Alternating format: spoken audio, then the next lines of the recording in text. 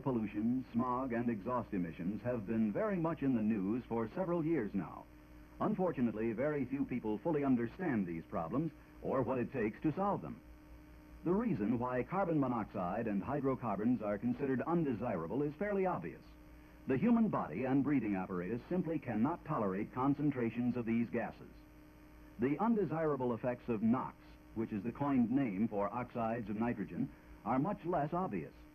The main reason for controlling NOx is because it contributes to the formation of smog. But just what is smog? Smog is not smoke. It is not fog. And it is not a combination of the two. Hydrocarbons and oxides of nitrogen are the principal ingredients of smog. When these invisible gases are acted upon by sunlight, a brownish haze called photochemical smog is produced.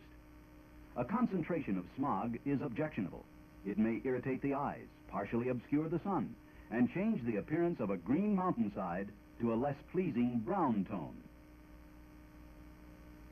Fortunately, a genuine smog problem does not exist in rural areas or in most cities. It only occurs in a few isolated metropolitan areas where peculiar atmospheric and terrain conditions trap concentrations of hydrocarbons and oxides of nitrogen in a static, cloud-like layer.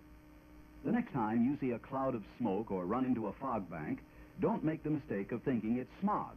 Unless you live in one of the smog areas, chances are you've never seen the real thing. Next, let's consider the engine operating conditions which produce hydrocarbons, carbon monoxide, and NOx. Hydrocarbons is the name given to a whole family of compounds containing hydrogen and carbon. For example, gasoline is a hydrocarbon, and any unburned or partially burned fuel that comes out of the exhaust pipe is a hydrocarbon. If the engine is fed a too rich fuel mixture, there won't be enough air and oxygen present in the combustion chamber to burn all of the gasoline. As a result, some unburned hydrocarbons will go out the tailpipe. A too lean fuel mixture may also produce an excessive amount of hydrocarbon emissions because the fire in the combustion chamber may go out before all of the gasoline is burned. Here's why that can happen. If the mixture is very lean, the fuel particles may be so far apart that the heat from one particle may not be great enough to reach out and ignite its neighbor. When this happens, the fire in the combustion chamber dies out, and the unburned hydrocarbons go out the exhaust. By comparison, with an ideal fuel mixture, the fuel particles are packed close together, and each burning particle ignites adjacent fuel particles. Precise ignition timing is also essential to ensure complete combustion and clean exhaust. If the mixture is ignited too soon, the fuel particles may not be packed close enough together at the time of ignition to ensure continuous and complete burning. If ignition is late, the combustion process may not start soon enough to burn all of the fuel before the exhaust valves open. Some of the unburned hydrocarbons will go out with the exhaust gases. Unless the exhaust is very hot and there is enough oxygen present to continue the burning in the exhaust system, the fire will go out before all of the hydrocarbons are consumed. But what about carbon monoxide? Chemically, it is one part carbon and one part oxygen. Carbon monoxide is produced when there isn't enough oxygen present in the combustion chamber to produce harmless carbon dioxide, which has two parts oxygen for one part carbon. Although carburation and ignition timing are essential to complete combustion and clean exhaust, many other engine design features are equally important. Clean exhaust is also dependent upon the right combination of combustion chamber shape, compression ratio, camshaft design, intake and exhaust manifolding, and engine operating temperature. To summarize, a lean mixture is probably best for reducing carbon monoxide emissions. However, a mixture that is too lean for complete combustion will increase hydrocarbon emissions because the fire will go out. A mixture that is on the rich side tends to increase both monoxide and hydrocarbon emissions because there isn't enough oxygen present for complete combustion. An engine that is designed to operate on an air-fuel ratio of about 16 to 1 is theoretically close to ideal from a standpoint of carbon monoxide and hydrocarbon emissions. Unfortunately, the solution to the total emission problem isn't quite that simple. Most of the 1973 model engine changes were necessary in order to meet NOx standards without exceeding limits for carbon monoxide and hydrocarbons. So let's consider the NOx problem. As was pointed out earlier, NOx is the nickname for a family of invisible gases that consist of nitrogen and oxygen. About four-fifths of the air we breathe is nitrogen, and about one-fifth is oxygen. The engine uses the oxygen in the air to burn gasoline in the combustion chamber. Normally, most of the nitrogen drawn into the engine is not used or changed. It passes out the exhaust pipe and is returned to the atmosphere. However, if combustion chamber temperatures are very high, some of the nitrogen combines with some of the oxygen to form oxides of nitrogen, or NOx. The temperature required to produce NOx is over 2,000 degrees. For most operating conditions, combustion chamber temperature is well below the critical NOx-producing range. As a matter of fact, NOx is produced as a result of brief combustion temperature peaks that occur as a result of some operating conditions.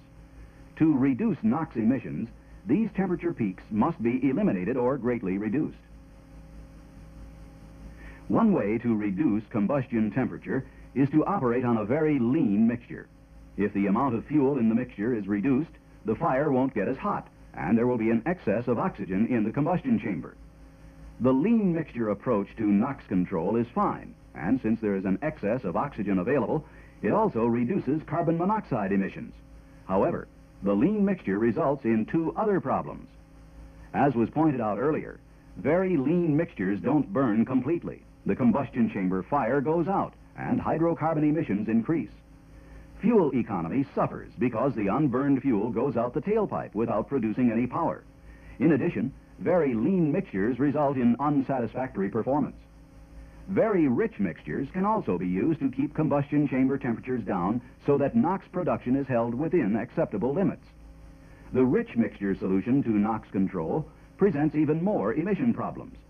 An excessive amount of fuel in relation to the amount of air and oxygen available results in greater carbon monoxide emissions. A rich mixture also increases hydrocarbon emissions and decreases fuel economy. So at the present time, fuel ratio isn't the answer to acceptable NOx emissions. In the 1973 models, the air-fuel mixture flowing through the intake manifold is diluted with small amounts of exhaust gas. The exhaust gas reduces temperature peaks and NOx emissions, but that's only part of the story. Combustion chamber temperatures tend to increase if normal vacuum advance is permitted during acceleration. That's where OSAC, or the Orifice Spark Advance Control System, comes in. OSAC delays the buildup of full distributor vacuum advance by about 15 seconds. This helps reduce temperature peaks and provides additional insurance against excessive NOx emissions during acceleration. However, not allowing the spark to advance can cause the engine to overheat under some operating conditions. To protect the engine against possible damage from overheating, the OSAC system has a coolant temperature bypass valve. This valve provides full vacuum advance if coolant temperature reaches about 225 degrees. Allowing normal ignition advance reduces the amount of heat transferred to the cooling system and increases engine idle speed. As soon as coolant temperature drops back to normal, the OSAC system goes into action again. A detailed story of the OSAC and the EGR systems used on present models was covered in Tech Session 73-1, Cleaner Air System Highlights. But what about drivability and fuel economy? Drivability, in terms of response and performance, is good. A very critical driver may notice a slight decrease in acceleration from the lower speed ranges. A little more throttle opening is required to get the same performance expected from previous engine models of the same size. Two other important factors affecting performance are frequently overlooked. Generally speaking, the 1973 models are heavier than comparable models that are three or four years old. Also, the standard axle ratio specified for current models is usually a lower numerical ratio. In other words, it is a high-speed axle which reduces engine revolutions per mile. This was done to increase engine life and ensure that this year's models will meet emission standards. Although greater car weight and numerically lower axle ratios may reduce acceleration slightly in the lower speed ranges, generally speaking, performance is equal to or better than last year's models in the mid and higher speed ranges. Carburation, fuel distribution, and ignition timing have been calibrated to provide the best combination of low emissions, drivability, and engine life when the entire cleaner air system is operating normally. As a matter of fact, it is unwise as well as illegal to alter or tamper with the operation of any of the emission control systems or devices. Stick to the specifications and you'll find that the 1973 models are both clean and drivable. Even from this all too brief discussion of air pollution, exhaust emissions, fuel economy, drivability, and engine life, you can appreciate the complex nature of clean air and clean engines. Our purpose has not been to question the relative merits of the federal emission standards. However, since there are many misconceptions about both the cause and correction of exhaust emissions, it is important for everyone in the dealership to have a basic understanding of the nature of the problems involved. This knowledge will help everyone understand this year's models and the changes that are scheduled for the next few years.